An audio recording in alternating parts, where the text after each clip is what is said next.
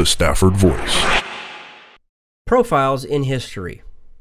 He was the Jay Leno or the Colbert of his time, writing many poems, songs, and satires. One of his more popular works was the song The Battle of the Kegs, about an attempt to sink British ships at Philadelphia during the Revolutionary War by uh, floating explosive filled barrels down the Delaware River. The British responded to the mines by shooting at anything that floated, and well, he couldn't resist mocking the British as they bravely battled the barrels. Francis Hopkinson was born in Philadelphia on September 21st, 1737. He was in the first class to graduate from the College of Philadelphia in 1757. Receiving his master's in 1760 and later an honorary doctor in law in 1790. His interests and skills were all over the place. He wrote poems, satires, songs, and composed music. He even painted and drew cartoons, but none of that really paid the bills or put food on the table. In 1763, Hopkinson was appointed as customs collector for Salem, New Jersey. However, from May 1766 to August 67, he spent his time in England with the hopes of being Commissioner of Customs for North America.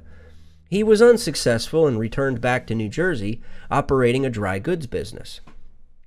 He married Anne Borden on September 1st, 1768 and together they had five children. They moved to Bordentown, New Jersey, in 1774, where he would become a member of the New Jersey Provincial Council and be admitted to the New Jersey Bar on May 8, 1775. After the New Jersey legislature imprisoned the royal governor, Hopkinson was picked at uh, as part of the new delegation to the Continental Congress. His time there was short lived. From June 22nd to November 30th, 1776, a lot had happened, including having voted for and uh, signing the Declaration of Independence. When he departed Congress, he did so to serve on the Navy Board at Philadelphia. The board reported to the Marine Committee, of which he was appointed to while in Congress, and he later became the Navy Board's chairman. In 78, he was treasurer of the Continental Loan Office. He would also be appointed as judge of the Admiralty Court of Pennsylvania in 1779 and reappointed in 80 and 87.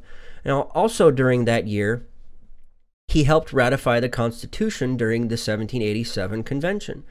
Now, Washington nominated Hopkinson on September 24, 1789, as a federal circuit judge for United States District Court for the Eastern District of Pennsylvania. He was confirmed by the United States Senate um, and received commission on September 26. On November 10th, Hopkinson opened court, the first operating court under the Constitution. Another first for Hopkinson, one of which he was especially proud of, was the composition of the music for the first original American song put down on paper, titled My Days Have Been So Wondrous Free. On May 9, 1791, the life of Francis Hopkinson was suddenly cut short at the age of 53 from an apoplectic seizure. The record of his life didn't end there, though.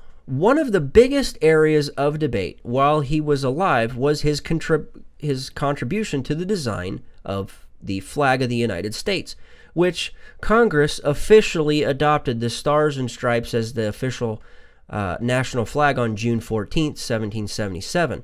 The resolution creating the flag came from the Continental Marine Committee, of which Hopkinson became a member in 76. Here's where the debate begins. Most of us have credited Betsy Ross. However, the journals of the Continental Congress support the idea as recognizing Hopkinson as the designer. He sent a letter, he even sent a letter requesting compensation from Congress on May 25th, 1780.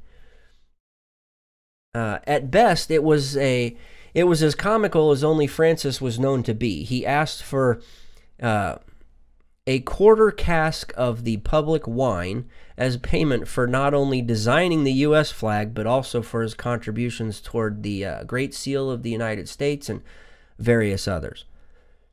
After some bureaucratic back and forth that only Washington is known for today, Congress eventually settled on refusing payment for the reason that Hopkinson was already paid as a public servant as a member of Congress.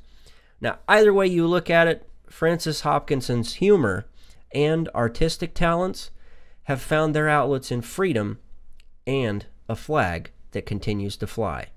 And that is this week's Profiles in History.